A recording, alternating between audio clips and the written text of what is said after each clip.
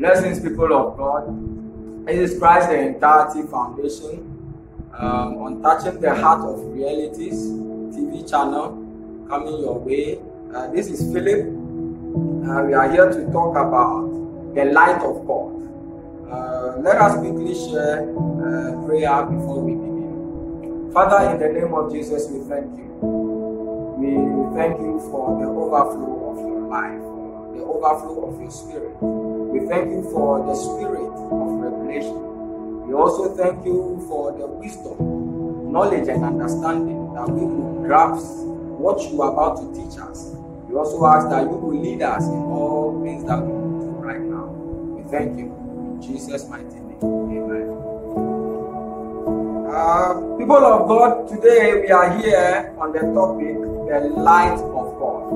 I want us to quickly go into the word so that we can understand um, what the Bible says concerning the light of God. When the Bible talks about light, what does it mean? Uh, so I want us to quickly take our scripture from Matthew, Matthew chapter 4, verse 14 to 17. I quickly read. That it might be fulfilled, which was spoken by Isaiah the prophet, saying, The land of Zebulun, the land of Naphtali, by the way of the sea, beyond Jordan, Galilee of the Gentiles, the people which sat in darkness saw great light.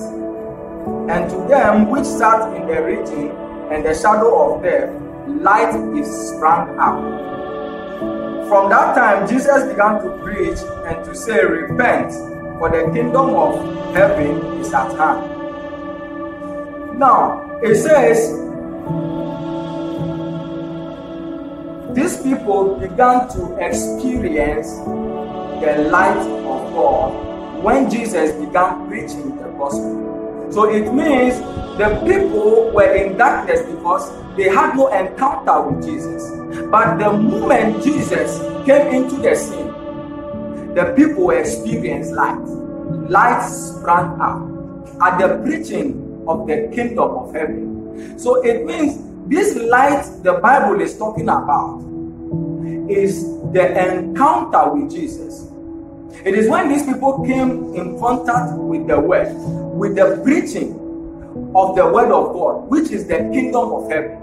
So it means they were in darkness when they had no preaching, or they had no word of God, or they had no message coming from the kingdom of heaven. So it means this life, or this life we are talking about, is the life of Jesus.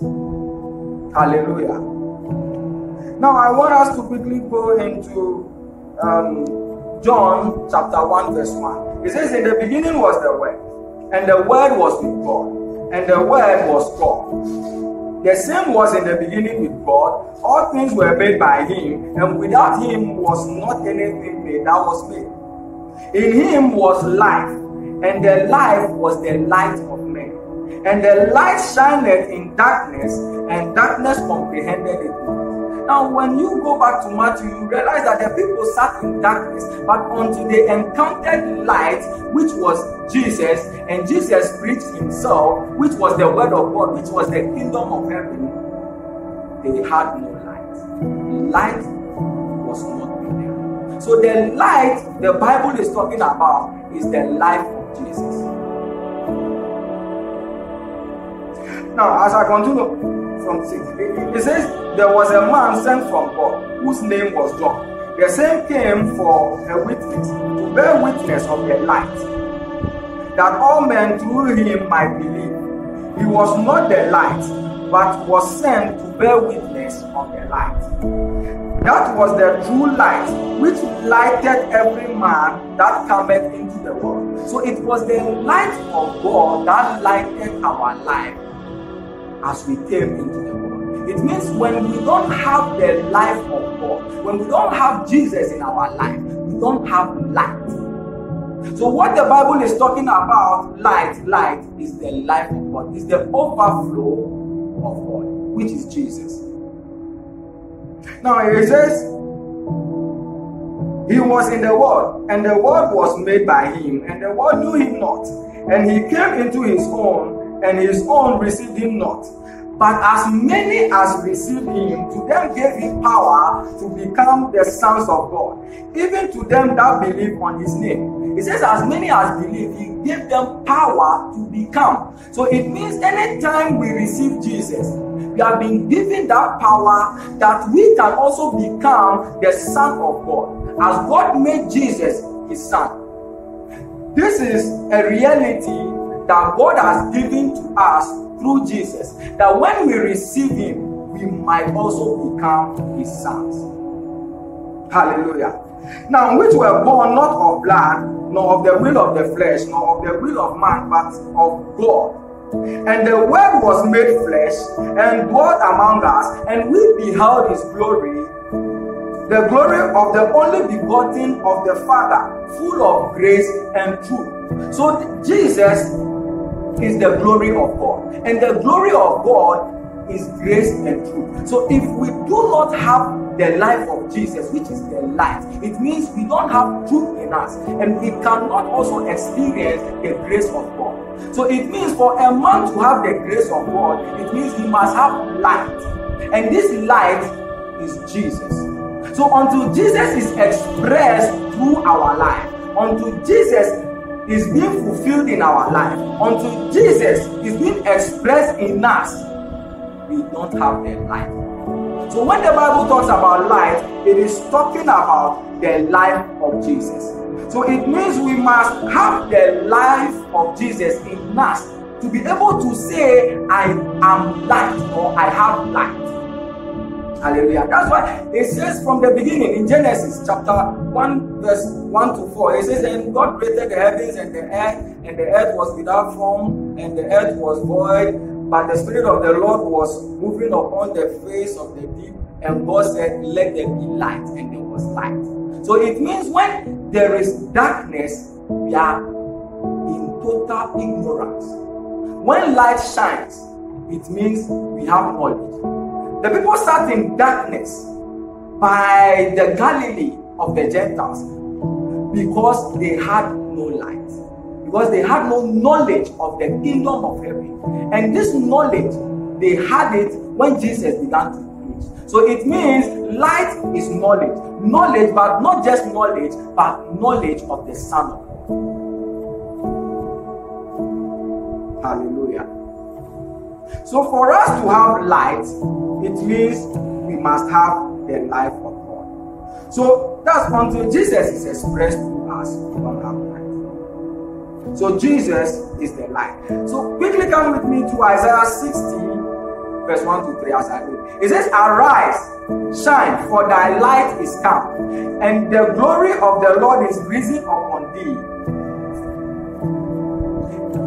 Isaiah said, Arise and shine, for thy light is come and the glory of the Lord is risen upon thee. The light is come. which light? It is the life It is the word.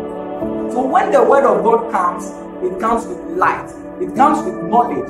Not just knowledge, but the knowledge of the Son of God. When we have experience with Jesus, we have encounter with Jesus. So for us to shine, it means we must have Jesus expressed in us and through us.